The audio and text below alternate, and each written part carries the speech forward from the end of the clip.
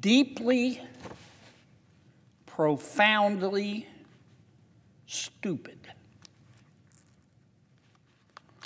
Deeply, profoundly stupid. That is the only way that I know how to describe one of the worst decisions by an administration that has become famous for bad decisions. I am talking about President Biden's assault on sustainable, affordable energy.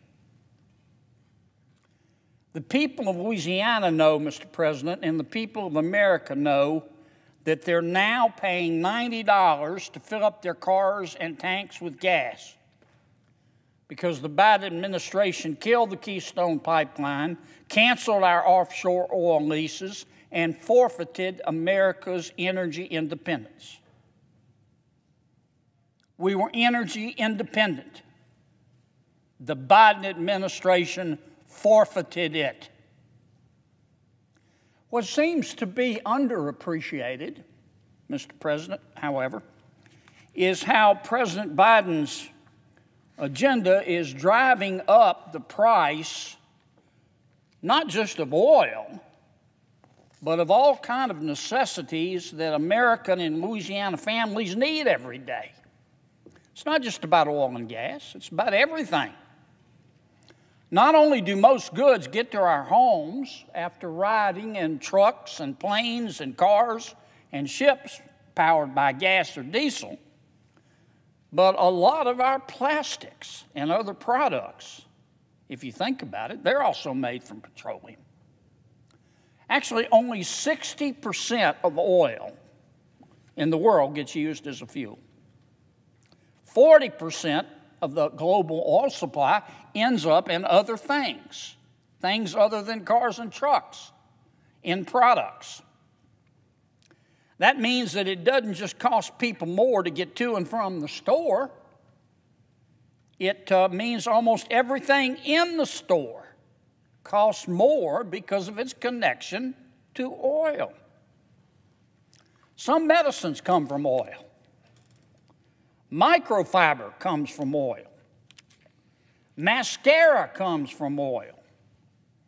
Synthetic leather comes from oil. Do you, do you have a phone case or a handbag or a chair or a car made with plastic?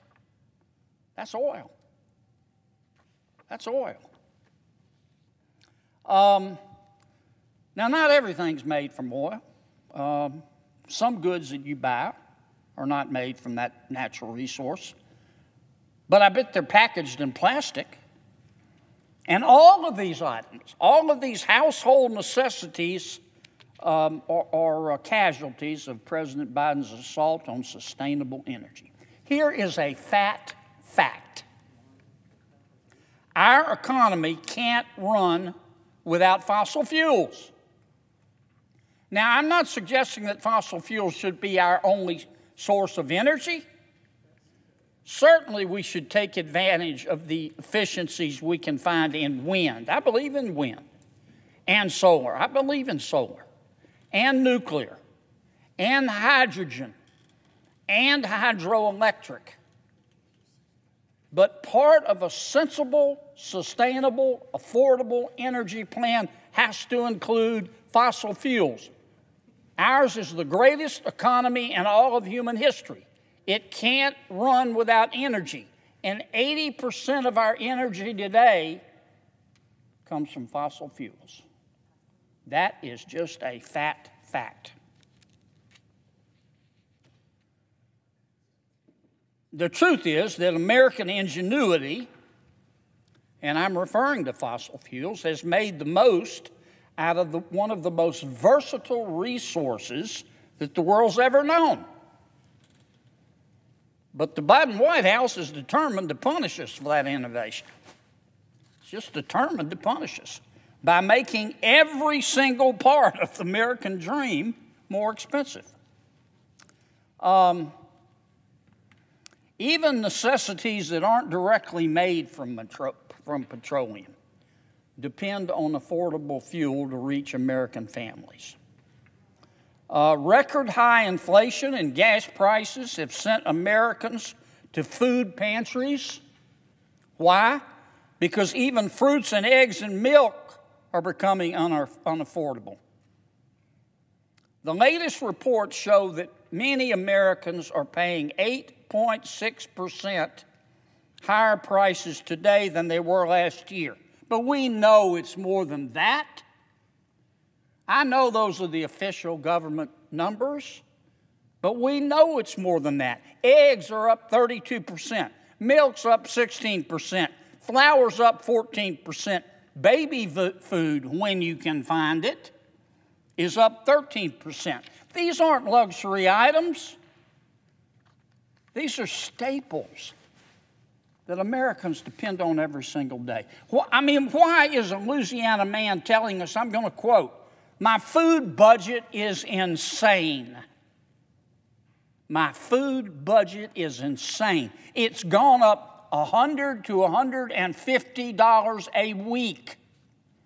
So it's becoming more and more difficult to buy the same thing I bought a year or two years ago. That's not, not just a Louisianian talking, that's that's all across America. Why did a woman in Baton Rouge realize that fruits and vegetables, not sirloin steak, fruits and vegetables are breaking her bank? She's cooking more with rice and bread instead of fruits and vegetables. The, the high grocery prices for this lady are gutting her and her family like a fish. And that's just a fact. A very unhappy one, but it's a fact. Now, high oil prices are also waterboarding our farmers, which contributes to these high food prices. Did you know that we, we make in, industrial fertilizer from fossil fuels? And when natural gas costs more, so does fertilizing a field of wheat or corn or soybeans. Some of our herbicides right now are twice as expensive as they were, if farmers can find them. Tractors drink diesel. Duh. So do irrigation systems. A gallon of diesel, one gallon, a year ago, you know what it was? $3.23. You know what it is today? $5.20. Now, what does this mean for, for Louisiana rice farmers and, and other growers? For every extra dime farmers spend on a gallon of diesel, every extra dime, a grower will spend about $4.50 more for an acre of rice, $2.30 more for an acre of cotton, and an extra $1.74 for an acre of corn. Corn growers I mentioned corn growers. They also depend on nitrogen fertilizer, which we make with methane. And then corn. I mentioned corn. Corn goes into cereal, it goes into sweetened drinks, peanut butter, baby food, ketchup, salad dressing. You know, I, I don't mean to be ugly, but this administration's energy policy is deeply, profoundly stupid and it's dangerous. Um, so, so my people, Mr. President, are feeling President Biden's gas hike from the gas pump to the grocery store to the doctor's office. Um, a lot of the raw materials that make our medicines and healthcare products are made from, guess what? Petroleum. Oil goes into our burn creams. You ever burn yourself? Have to go to the local grocery store or the local pharmacy, buy something to put on your burn? That cream comes from oil. You have allergies? Those allergy pills are made in part with oil. You ever get a cold? Take a little NyQuil, take some cold tablets, need oil to make them. Uh, our kids' gummy vitamins are made with oil. The band aids in your medicine cabinet, they're made from oil. The president's assault on fossil fuels is hitting my people in Louisiana, Mr. President, and they're hitting the American people so hard they're coughing up bones. My people and the people of America are increasingly having to dip into their savings accounts just to afford everyday items, not to take a cruise, not to buy a new car, not to, to buy some new clothes to look good at church on Sunday, for household necessities. And, and on top of that, in, in addition to going into their savings account, my people and the people all across America are having to charge more and more and more to their credit cards. Not for luxuries, but for staples, for necessities.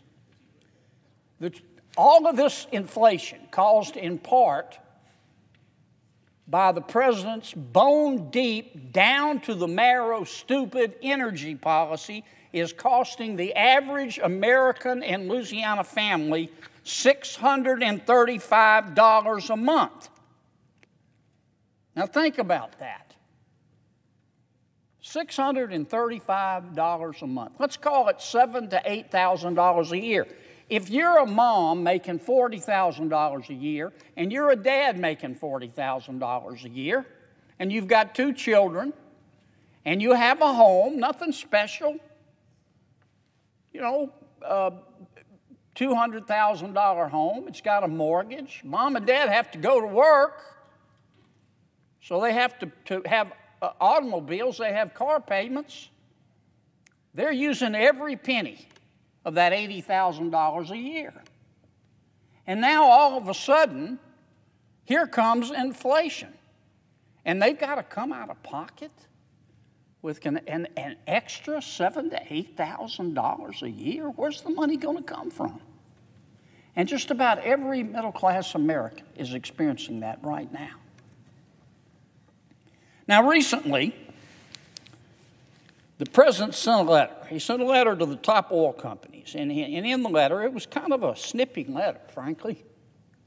He, uh, he demanded that the oil companies wrap, uh, ramp up their refining operations to try to slow the rising energy prices and to shore up supply. Isn't that special? The same president, he ran on it. He did it. He ran on it, said he'd do it, and he's done it. The same president who promised to end fossil fuels is now blaming the energy industry for historic oil and gas prices.